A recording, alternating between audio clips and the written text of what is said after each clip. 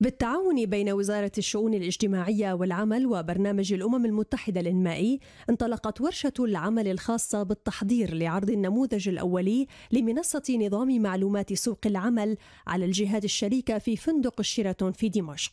هذا النظام هو عبارة عن مشروع وطني.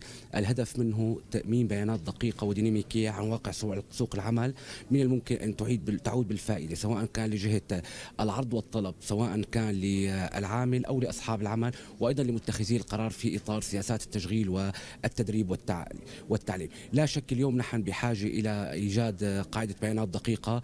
انطلاق هذه المنصة سيكون بإطار فعلا أن نكون ضمن سوق عمل نشط ومنضبط يتمتع ويمتلك بيانات دقيقة من الممكن الاستفادة منها في المرحلة آه، سوريا 2030 الورشة هي لعرض ما تم إنجازه في إعداد نظام معلومات سوق العمل نظام معلومات متكامل لسوق العمل آه، بيتضمن آه، طبعا عدة منصات فرعية منصة للعمل منصة للتدريب منصات للدراسات والأبحاث. في برنامج متكامل هو الأول من نوعه في سوريا وهذا هدفه الأساسي هو تنظيم سوق العمل في سوريا واستثمار الطاقات الموجودة فيه وأيضا الحد من العديد من المشكلات اللي بيعاني منها آه، سوق العمل وخاصة في مسألة المطابقة ما بين المعروض من قوة العمل والطلب عليها. الورشة تضمنت مناقشة ما تم إنجازه من نظام معلومات سوق العمل وعرض أولي لنظام المعلومات من قبل الجهات المشاركة في الورشة.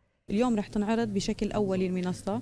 آه رح ناخذ ملاحظات الشركاء آه من القطاع الخاص والقطاع العام آه حول تفاصيلها لحتى نقدر نطورها ونبرمج بناء على هي التفاصيل تحضيرا لإطلاق النظام وتفعيله لاحقا.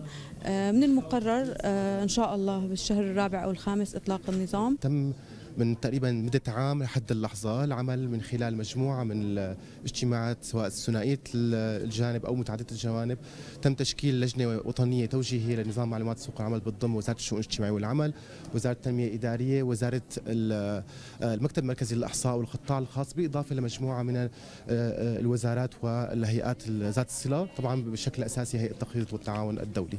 طبعا ضمن هذه الفترة هي كمان تم العمل على إعداد دليل النظام بالعناوين الرئيسية. الهدف من إطلاق الورشة تنشيط سوق العمل من خلال نظام معلومات متطور وتأمين بيانات دقيقة وديناميكية عن واقع سوق العمل في سوريا.